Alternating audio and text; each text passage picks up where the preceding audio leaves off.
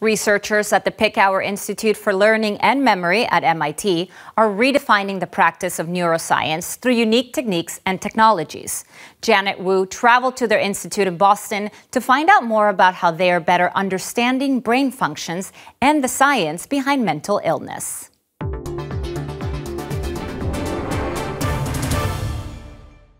At the Picower Institute for Learning and Memory at MIT, researchers are driven by one common question How does experience modify the brain in both health and disease? Our mission is to understand how we can learn and how we can remember. And we believe that understanding these fundamental processes are going to provide new insight and new treatments for very complex brain disorders such as autism, depression, schizophrenia, addiction, and even neurodegenerative diseases. Picower investigator Matt Wilson, an engineer by training, studies the pathways of memory processing and how they break down in mental disorders. There are a couple of specific uh, models that we're looking at. Uh, one in particular is schizophrenia, and that is trying to understand how communication between the hippocampus and other brain areas both during wakefulness and during sleep, might contribute to cognitive deficits that are seen in schizophrenia. Picower neuroscientist Earl Miller studies attention and decision making in the prefrontal cortex, an area known to be affected by psychiatric disorders. Our work is very relevant for ADHD, we study how you focus attention, how you keep on task, keep keep um, your eyes on the prize, on, keep focused on one task at a time, and avoid distractions. Um, our work, we also do work relative to um, related to um, autism. By studying how the brain learns, researchers here are getting ever closer to understanding the mechanisms of mental illness. Researchers like Kay Tye are identifying the brain circuits that regulate emotional decision making.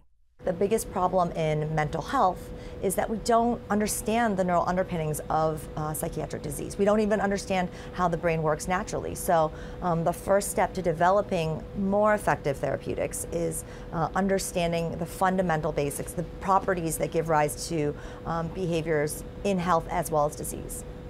One remarkable finding the developed brain is able to adapt. Okay, so now let's look at the data. and so, what we're interested in is to try to figure out what the normal function is of synapses, how they um, can be plastic in the sense that they can constantly change um, on a need basis.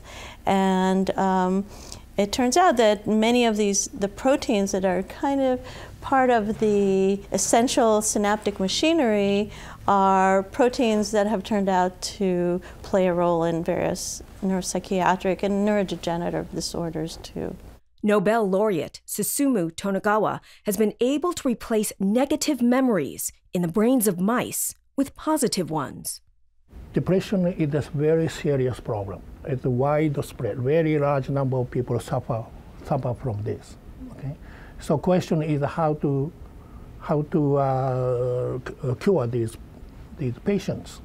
So people we use some uh, chemicals, chemi- drugs uh, to treat them, but many of them do not respond to it. He found that when light was used to stimulate specific regions in the brains of mice, it reversed their depression. We activate these uh, positive memory engram cells with the light, with optogenetics, with the blue light, which will activate uh, these engram holding cells. But in this case, particular kind of engram hold, holding cell that is a positive, happy uh, memory engram cells. And we have shown that if you do that, then the mouse get rid of the uh, depression features. Other Picower research involving beneficial alteration of the brain is already reaching human trials. But our work based on a mouse model of Rett syndrome, it's a genetic disorder. We were able to make a mouse that has the same genetic lesion. We discovered that the brain, that, that brain plasticity is affected. And based on our work on rewiring the brain, we have proposed a therapeutic that will repair this deficit in plasticity. And this is now in clinical trials for girls with Rett syndrome. We do very fundamental research, but we know the knowledge we get from this very fundamental work will have huge impact on those people out there who suffer from those diseases. It's hoped that the many scientific advances made here daily will lead to new therapies for millions of people suffering from illnesses of the mind. In Cambridge, Massachusetts, I'm Janet Wu.